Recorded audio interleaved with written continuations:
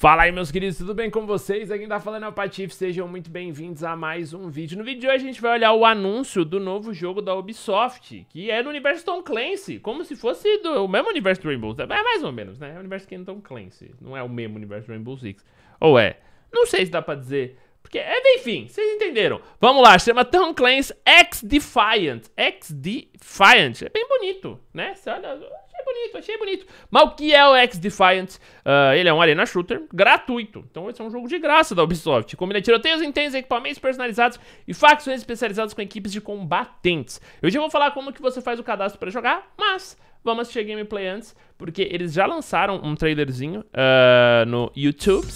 É um trailer com jogabilidade e tudo mais, mostra os desenvolvedores. Vamos ver um pouquinho do projeto aí. Uh, eu tinha visto ontem as gameplays que saíram, saíram alguns trechinhos em algumas mídias especializadas, tipo IGN e GameSpot. Uh, e é isso, e aí eles vão explicar um pouquinho das coisas agora, vamos ver. Essa é a nossa opinião, né? Ele quis falar, tipo, que é a visão deles, né? E, e a ideia deles, na real, com esse jogo, eu sinto que é uma... Pelo menos eles estão dizendo que a ideia é desenvolver bastante com a comunidade do game, sabe? Mas enfim. Então vamos lá, eles vão apresentar aí. Então Clancy Defiant. X-Defiant. X-Defiant. E o nome? X-Defiante. Eu não sei. Rainbow Six Siege é um bom nome. Enfim, aí já começa a gameplay. X-Defiant. Bom, é... Cara, é legal, assim, porque você viu, então eles falam de um jogo de tiro com alta octanagem gratuito, tiroteios realistas e classes personalizadas. O tiroteio realista, é, deu pra perceber o quanto que o, o headshot ele é efetivo aqui, né? Se você quiser ver o vídeo completo, vai lá. Eu vou pausar só pra gente observar alguns detalhes, então... Por exemplo, né, né nessa trocação não, na próxima aqui, ó. Olha o tiro na cabeça a hora que ele pega, eu achei, eu achei curioso o fato de que é o mesmo xizinho vermelho que aparece na tela quando você dá um headshot no Rainbow Six, né? Então já mostra aí é, a bastante efetividade dos tiros na cabeça. Eu acho que esse é o principal ponto que eu reparei. Ó, é o plum, né? Aquele xizinho é, é um bem pequenininho que bem rapidinho que passa no Rainbow também quando você dá o headshot. E aí, tem as classes, eles falam que é o esquema de facções, né? Então tem, por exemplo, o Tancão, que eles estão dando o nome de Wolves. Tem o Assault, que são os Cleaners. Então a gente vê que, tipo, dentro de, de cada classe... Ó, o suporte... Esse, ah, essa skill, velho, socorro. É, é engraçado, ele tem uma... Parece uma misturona, né? Parece que eles pegaram, tipo, Rainbow COD e Overwatch e colocaram. Mas eu acho que as inspirações ficaram meio claras. Então tá aí as facções. Dentro das facções tem personagens diferentes. São as funções, né? o tanque, o suporte, enfim. Eles só deram outro nominho para as facções.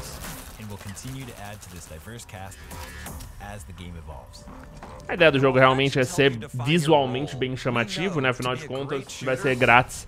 A gente sabe que vai ter muita microtransação por, por dentro dele. Eles falam, né, que a questão da jogabilidade de armas ali é bem importante.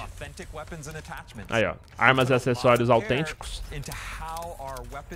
Até a pegada das armas, a sensação.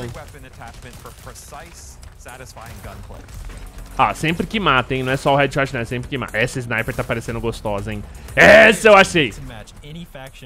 Os bonecos são bonitos, né, mano? Uma vibe também meio The Division, né? Caralho, parece que eles fizeram uma saladona aí, mano.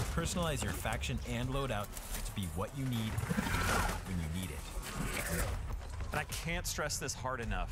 We are a shooter Aí, ele tava falando, é um shooter first, tipo assim, a prioridade é trocação de tiro. Apesar das skills, o que vai definir o jogo é o tiro.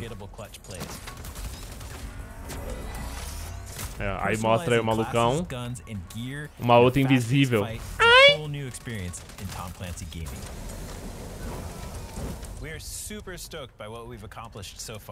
Loucura, né? Loucura, loucura. Eu não lembro se eles mostram mais alguma coisa, acho que agora eles mostram o time, o trabalho do time e tudo mais. Uh, tem mais umas ceninhas aqui, mas enfim, entrando no site oficial deles, você pode se cadastrar na sua plataforma, apesar de que o site vem em português, então imagino que alguma beta venha pro Brasil, mas eles já falam aqui embaixo que esta beta uh, vai rolar Na, na, na, no dia 5 de agosto vai ter jogadores do PC que moram nos Estados Unidos e Canadá. Então a gente já não vai ter este primeiro acesso, não sei, a Ubisoft normalmente traz os acessos para cá, eu acredito, mas a base por enquanto é isso de que o primeiro teste uh, vai ser externo, certo? Uh, aqui eles têm um pouquinho mais de descrição, então estilo de jogo personalizado, é, confrontos competitivos e facções diversas de Defiants, né? Defiants são, acho que os operadores do game. Enfim, é muito interessante, aqui você clica no negócio, isso que eu queria inclusive mostrar, e seleciona a sua plataforma, né? Então eu, por exemplo, coloquei que quero jogar no PC. Eu não me liguei que nesse meu tempo ainda veio mais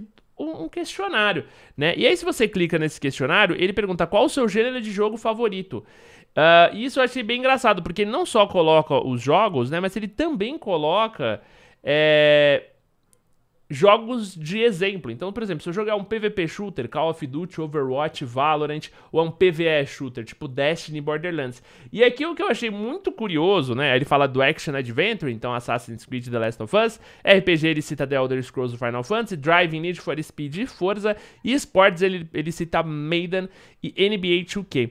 O que eu achei muito curioso é o fato de que o único jogo da Ubisoft nos exemplos que eles citaram é o Assassin's Creed aqui em Action Adventure. Todas as outras listas não tem é, a, parada dos jogos da Ubisoft, né? Então, tipo, P-Shooter eles nem colocam Rainbow Six. Isso é, isso é, no mínimo, divertido. E aí, se você joga no PC ou não, você clica próximo e aí, consequentemente, uh, posso mudar a plataforma. Eu me cadastrei para receber as notícias e atualizações do Tom Clancy X Defiant. Mano, me parece interessante, me parece divertido, não me parece muito genérico, o que é bom. Eu não gosto quando os FPS vêm 100% genérico e esse não tá parecendo. Parece um jogo com personalidade, uh, algumas coisinhas Mano, interessantes, eu gostei, mano, eu gostei de verdade, eu tô, eu tô curioso, eu quero testar, e só de ver a gameplay me deu vontade de jogar, é uma sensação boa, né? Eu, eu vou falar pra vocês.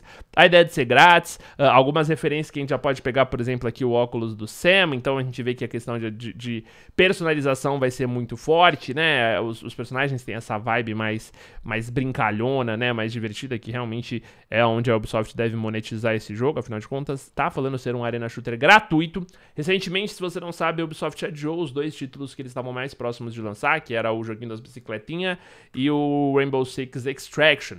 E logo depois eles vêm com esse jogo, free to play, é uma pegada bem diferente dentro do universo Tom Clancy. Assim, é uma confusão zona, né? Tem mais gameplays uh, do game. Se vocês quiserem que eu faça react, que eu comente alguma coisa, manda aí nos comentários, porque eu super posso fazer. Eu vou tentar deixar mais esse videozinho curto. Uh, acabaram de anunciar, então achei que era interessante eu falar disso uh, aqui com vocês. Se você quiser se cadastrar na beta, acesse o site do X-Defiant aí, que, que tá aqui no link, tá ubisoft.com.br, mas acho que o link é Play X Defiant, alguma coisa assim. Então você consiga clicar e ver. Enfim, manos, é isso. É, eu não sei o que esperar. Tem bastante feedback, feedback negativo aqui, ó, que tá com 344. Deixa eu dar um F5 e vamos ver o que... É, mano, ó, ele tá com 1.8 mil likes e quase 900 dislikes.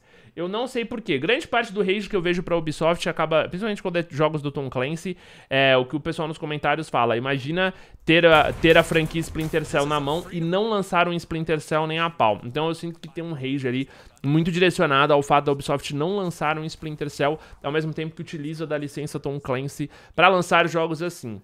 É, é, estranho, de novo, eu não olho pra esse jogo e falo, meu Deus, ele vai ser incrível, mas eu olho pra esse jogo e eu fico com vontade de jogar, tá ligado? Eu não sei o, o, o, se depois de jogar eu vou odiar, não sei, mano. Mas a princípio, eu, eu preciso ser honesto com vocês que, mano, não odeio ele, não, não, não tô contando nada, mano. Eu estou ansioso. Gostaria de ver o joguinho aí na minha frente. Gostaria de jogar, gostaria de testar. Uh, e o fato de ser grátis me ajuda é, a, a, ficar animado, sabe? Vamos ver. Espero que eu consiga participar dos testes. Se eu participar, pode ter certeza que vocês serão os primeiros a saber. Tá bom? E mais queria saber a opinião de vocês. Mandem aí nos comentários se você gostou, se você não gostou, se você cagou, se você não cagou. Eu tô curioso. Eu posso dizer com toda certeza que eu gostaria agora. Se lançou agora, eu estaria jogando. Porque eu realmente gostei, gostei do que vi. Tô, tô, tô ok, Ubisoft. Conseguiram acertar. Enfim, manda aí nos comentários o que vocês acharam. Chega do vídeo, que eu já prolonguei ele muito. Tamo junto, espero que tenham gostado. Um beijo, até a próxima. É nóis. E tchau!